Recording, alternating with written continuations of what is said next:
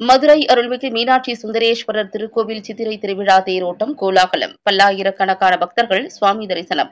மதுரை அருள்மிகு மீனாட்சி சுந்தரேஸ்வரர் திருக்கோவிலில் சித்திரை திருவிழாவின் முக்கிய நிகழ்வுகளில் ஒன்றான தேரோட்ட விழா மதுரையில் நடைபெற்றது. நான்கு மாசி வீதிகளிலும் பல்லாயிரக்கணக்கான பக்தர்கள் சுவாமியை வரவேற்று தரிசனம் செய்தனர்.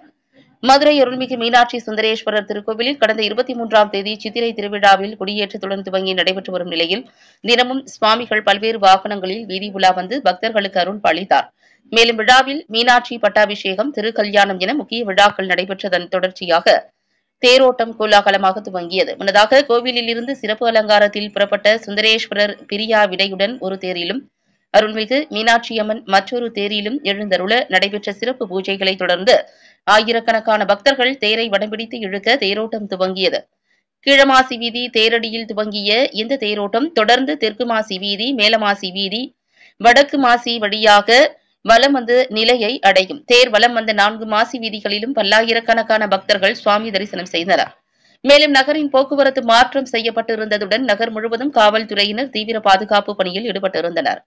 இந்நிலையில் சித்திரை திருவிழாவின் சிகர நிகழ்ச்சியான கள்ளழகர் வைகை ஆற்றில் இறங்கும் விழா வரும் ஐந்தாம் தேதி நடைபெறுவதையொட்டி நகரமே விழா கோலம் பூண்டுள்ளது.